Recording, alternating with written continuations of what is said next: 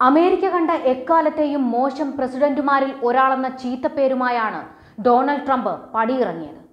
എന്നാൽ യഥാർത്ഥത്തിൽ ട്രംപ് ഒരു മോശം പ്രസിഡന്റ് ആയിരുന്നു വലിയൊരു സംവാദത്തിനുള്ള വിഷയം തന്നെയാണിത്. മോശവും നല്ലതുമൊക്കെ ചില നിക്ഷിപ്ത താല്പര്യമുള്ള മാധ്യമങ്ങളും ബുദ്ധിജീവികളും തീരുമാനിക്കുന്നതാണോ എന്നതാണ് ഇവിടെ ഉയരുന്ന ചോദ്യം. ഒരു രാഷ്ട്രത്തിന്റെ തലവൻ എന്ന നിലയിൽ ആ രാജ്യത്തെ കെട്ടുറപ്പുള്ളതാക്കി സംരക്ഷിക്കാൻ ശ്രമിച്ചു എന്നതാണ് ട്രംപ് ചെയ്ത ഏറ്റവും വലിയ അപരാധമായി കാണുന്നത്. ചില തീവ്ര ചിന്താഗതിയിലെ രാജ്യത്ത് നിന്ന് വരുന്ന ആളുകളെ വിലക്കിയതിലാണ് വലിയ വിമർശനം. ട്രംപ് എത്രത്തോളം ശരിയായിരുന്നുവെന്ന് ഇന്ന് യൂറോപ്പ് ലോകത്തിന് കാണിച്ചു കൊടുക്കുന്നുണ്ട്. ഫ്രാൻസ് ഉൾപ്പെടെ രാജ്യങ്ങളിലെ ജനങ്ങളുടെ സ്വസ്ഥ ജീവിതത്തിന് ഭംഗം സംഭവിച്ചിരിക്കുന്നു. പടിയിറങ്ങിയ അമേരിക്കൻ പ്രസിഡന്റ് ഡൊണാൾഡ് ട്രംപിനെ കുറിച്ച് സോഷ്യൽ മീഡിയയിൽ വിവിധ അഭിപ്രായങ്ങൾ ഉയരുന്നുണ്ട്. മുഖ്യധാരാ മാധ്യമങ്ങളിൽ നിന്നും വ്യത്യസ്തമായ ഒരു അവലോകനമാണ് ഇത്. അമേരിക്കയുടെ ചരിത്രത്തിലെ ഏറ്റവും ശക്തനായ ഭരണാധികാരി വൈറ്റ് ഹൗസിന്റെ പടി ഇറങ്ങുകയാണ്. അധികാരത്തിൽ എത്തിയ ശേഷം തന്റെ സമ്പത്തിൽ കുറവ് വന്ന ലോകത്തിലെ ആദ്യത്തെ ഭരണാധികാരിയാണ് ഡൊണാൾഡ് ട്രംപ്. ലോകത്ത് യുദ്ധം ഇല്ലാത്ത നാല് വർഷമാണ് കടന്നുപോയത്. സാധാരണഗതിയിൽ മറ്റു രാജ്യങ്ങളിൽ കടന്നുകയറി പ്രശ്നമുണ്ടാക്കൽ അമേരിക്കൻ പ്രസിഡന്റുമാരുടെ ഒരു ഹോബിയാണ്. എന്നാൽ ഡൊണാൾഡ് ട്രംപിന്റെ കാലത്ത് ഒരു രാജ്യത്തിനു നേരെയും അമേരിക്ക ഒരു കടന്നുകയറ്റം പോലും നടത്തിയിട്ടില്ല. പാകിസ്ഥാൻ അകമഴിഞ്ഞ സഹായം കൊടുക്കാത്ത അമേരിക്കയെയും ട്രംപ് ഭരണകാലത്ത് നാം കണ്ടു.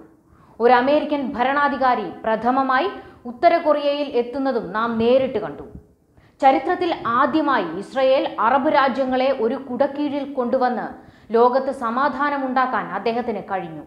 ഐസിസ് തീവ്രവാദികളെ ഒതുക്കാൻ കഴിഞ്ഞത് ട്രംപിന്റെ വലിയ നേട്ടമാണ്. ട്രംപ് അധികാരത്തിൽ എത്തുന്ന രണ്ടായിരത്തി പതിനേഴിൽ ഐസിസ് തീവ്രവാദികൾ ലോകത്തിന് തന്നെ ഭീഷണിയായി വളരുന്ന കാലഘട്ടമായിരുന്നു.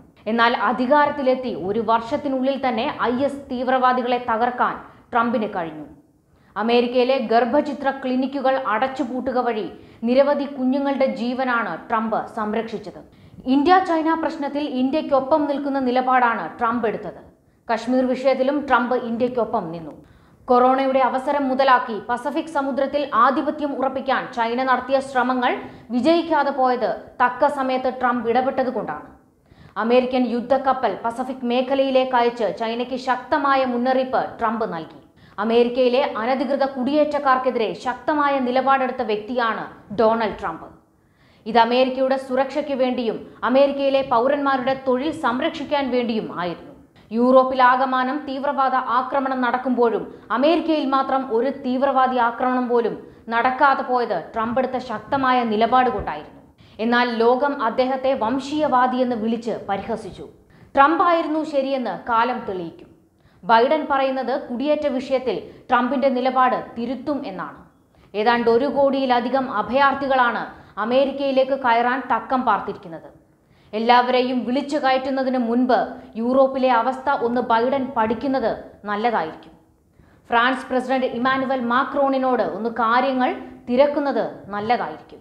വെറുതെ മാധ്യമങ്ങളുടെയും ബുദ്ധിജീവികളുടെയും കയ്യടി നേടാൻ വേണ്ടി ബൈഡൻ ഓരോന്ന് കാട്ടിക്കൂട്ടി വയ്ക്കും ഇതിന്റെ ഫലം അനുഭവിക്കാൻ പോകുന്നത് അമേരിക്കയിലെ അടുത്ത തലമുറയായിരിക്കും. ട്രംപ് പറഞ്ഞത് പലതും ശരിയായിരുന്നുവെന്ന് നാളെ കാലം തെളിയിക്കും. പക്ഷേ അപ്പോഴേക്കും സമയം കഴിഞ്ഞു പോയിരിക്കും. മനസ്സിലുള്ളത് വെട്ടിത്തുറന്ന് പറയുകയും പ്രവർത്തിക്കുകയും ചെയ്ത സത്യസന്ധനായ ഭരണാധികാരിയായിരുന്നു Trump. News desk Karma news.